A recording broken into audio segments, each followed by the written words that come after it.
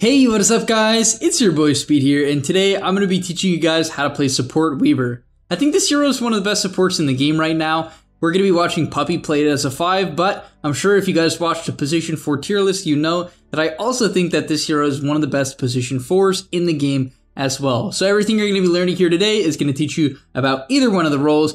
You might think like, oh, this is some off meta thing. No, Weaver has always kind of been a support. Not always, but like for years now. This hero has gone in and out of the meta as a support. So it's definitely not some like really crazy idea.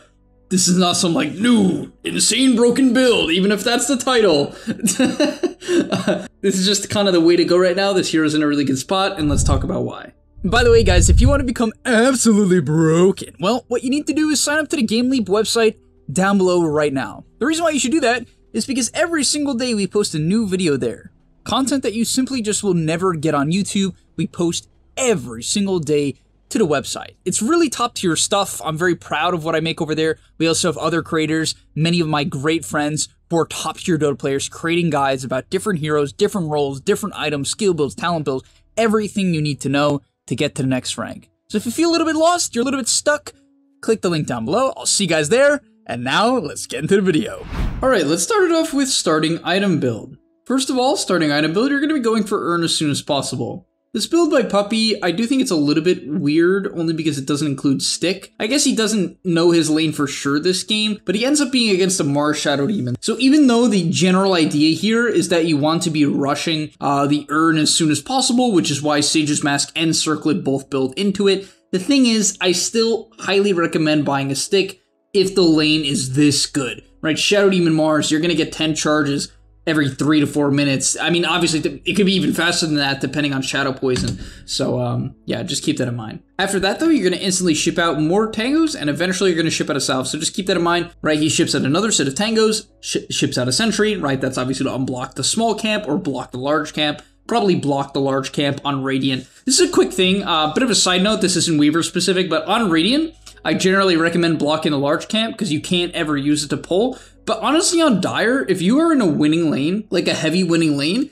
and you know for a fact or you think that the wave is going to shove in, right? This wave shoves in, then you can actually use this to pull up. So always just keep that in mind when you're playing on Dire as a 5. Don't always block this camp if you think you're going to be shoving in the wave with like a CMQ and a jug spin or something like that, then having this camp open in case this gets blocked is really valuable. All right, getting into the laning stage, basically you're just playing around Shukuchi and shipping down people with Shukuchi. I mean, it's just a solid damage spell. 100 damage on a 12 second cooldown for 60 mana. You can imagine why it's good. Like, the numbers are just good. 100 damage on everything. It's going to shove in the wave, which sometimes can be good for putting pressure, and it's just damage. So he comes in through the back here. Make sure you end the Shukuchi always in a good place. Um, as you see in this clip, from Puppey. He ends the Shukuchi retreating. Do not man up on the back half of Shukuchi. Your hero is really slow.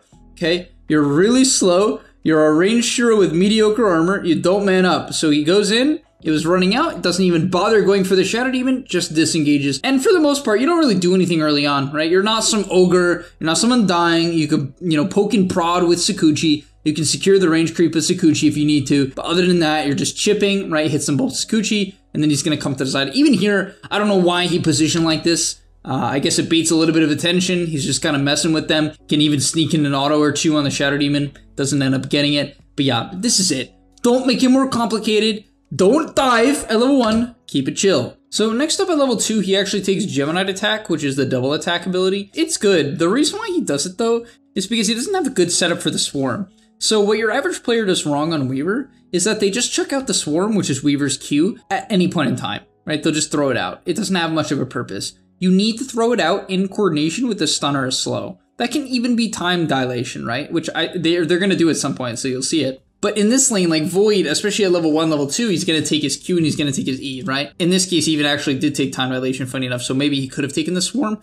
But with the wave pushing in and usually not having a disable, typically you're going to take your Geminate attack. You're just going to harass, and then at level 3, if you get a disable or a rotation comes in, you can take the Swarm. Usually I recommend at level 3 you're 1-1-1 anyway. I like having a point in each spell. At level 3, that's the way to go. But yeah, in general, if you have a disable, take Swarm. If you can go aggressive, take Swarm. If you can't and it's more of a chip game, then Geminate attack is the way to go.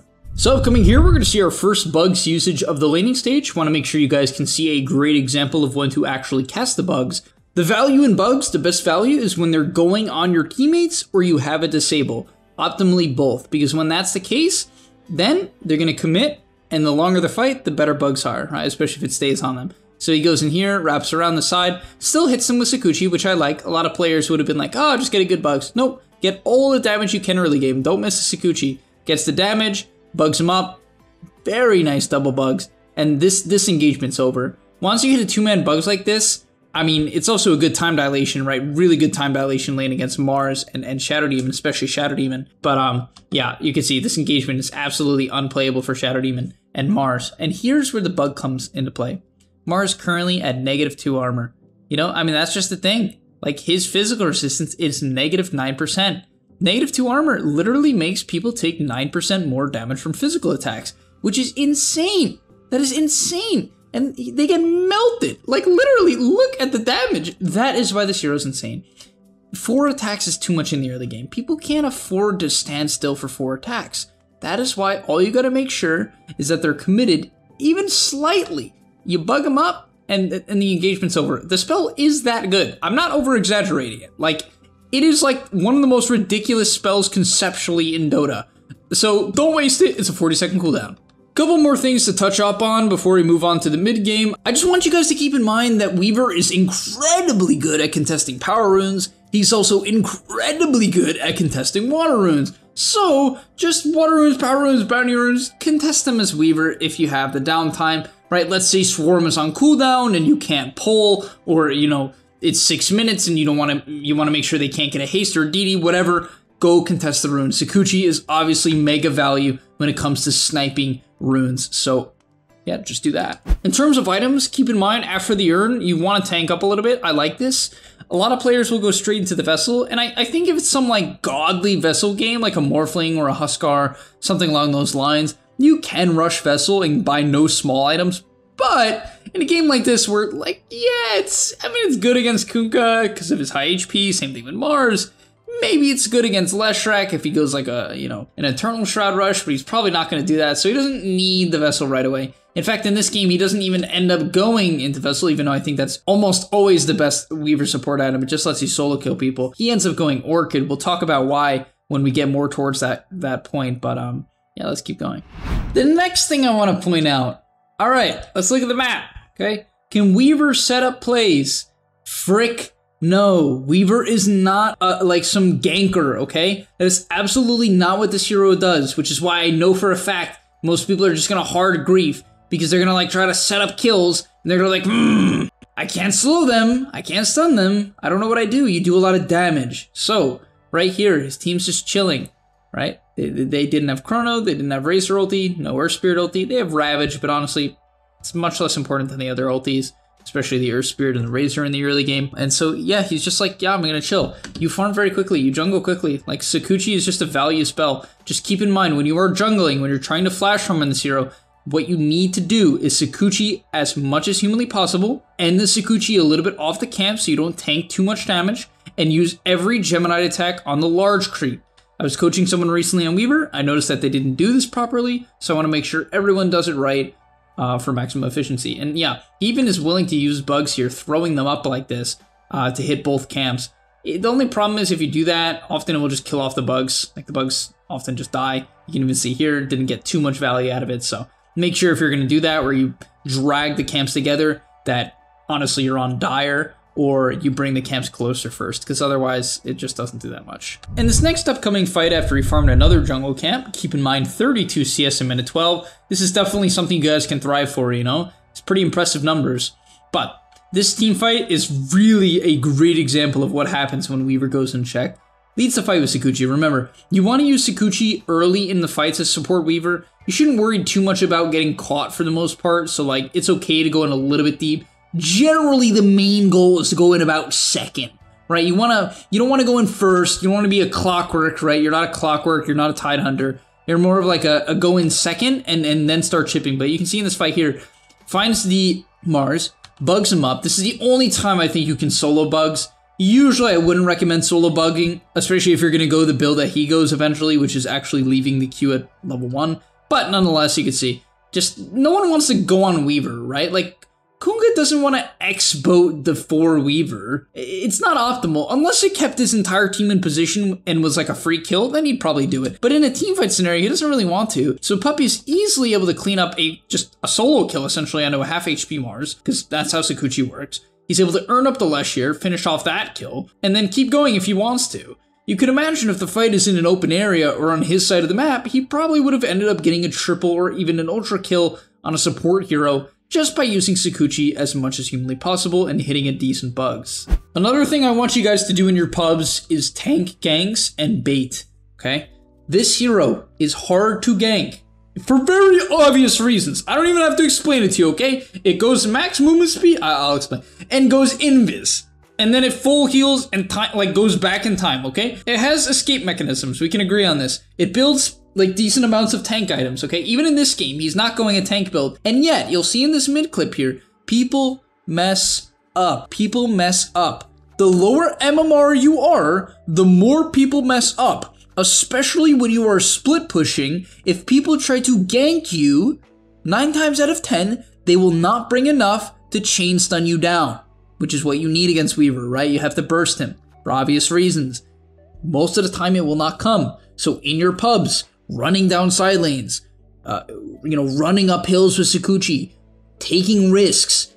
Please take risks. Bait rotations. Look at this. I mean, they try to boat combo him. Yeah, they miss. Like, obviously, he would have died if they didn't miss. But even if he dies there, like, who cares? He's a level 9 Weaver. They're like four man ganking him, right? And, as I said, people mess up when it comes to Weaver. People mess up. Yes, he shouldn't have missed that boat combo. We can all agree on that. But still, providing vision, just keeping bugs on people, making the enemy team nervous. You're so good at that, right? This hero is like so good at it because of how Shukuchi works. It's just invis max movement speed. What more can you ask for?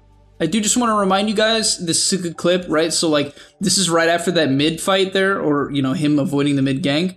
What does he do next? Shifts to top, runs to top. He understands that Weaver is just so good at this. You know, it's much harder for a Tidehunter or a Razor. I mean, Razor's not too bad, but it's much harder for, you know, Tidehunter to get to the top side of the map and push in this top wave. And if Tidehunter was gonna do it, and he either walks through a ward or just, you know, goes top by the time people are ready to TP, then he's gonna die. And so Weaver instead is is really safe at doing this, right? Easily shoving the wave. Make sure you prep the creeps for Shukuchi, by the way. If you don't know what I mean by that, you want to even out the HPs, right? So right here, instead of hitting this melee creep, he hits the range creep twice, Shukuchi's through and secures them both and gets out.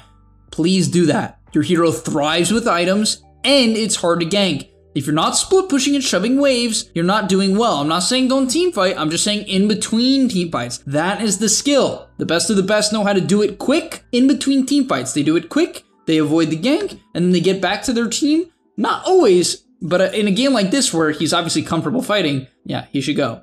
And once again in this team fight here, you get to see him making the enemy team panic. Gets a really nice bugs here hitting Lesh and Jakiro just such a high value bugs. I mean, it's going to instantly put Jakiro to negative armor. Leshrac is a very bad hero when it comes to armor. Um, even 10 right now seems high. So, like, I, I, I don't know. But, like, Leshrac is going to go into the negatives real quick because he can't really auto attack the bug. He has no attack speed. So, he's just done. Like, look at this Lesh's HP and in, in, in this fight. I mean, he's done. Like, insta dies. I mean, yeah, he gets disrupted, but melts, right? It, it literally looks like a stick of butter. Now keep in mind, Puppey's skill build this game is definitely a little bit unorthodox. Generally what people do is they max out Shukuchi, which is necessary, then they max out Bugs, and they take their talent at 10. He skipped talent at 10, he ended up maxing out Geminate attack instead, and the reason why I think he's doing this is this guy ended up buying Vessel, so this guy goes Vessel, he's like, alright, I can't go Vessel, what's my item? Like, what's a good disruption item? And honestly, I kind of like the Orchid here. I think it's a bit weird, but if he finds Jakiro or finds the Shadow Demon in the back of the fights at the start of the fight, he easily can solo kill them with uh, with Orchid and the maxed out E. Because Bugs doesn't really scale well. The reason why you generally take Bugs and max it is not even necessarily for like the numbers, because the attack damage buff is nothing. The attack frequency is honestly okay, but it's nothing crazy. It's mostly just a cooldown and so you can use it to push in waves, you can use it to scout, and generally you're gonna have two of them during a fight. So that's why people max it. But if you want to go more of a right click variant, then you definitely can max the E. And as you see in this team fight here, the disruption power is insane.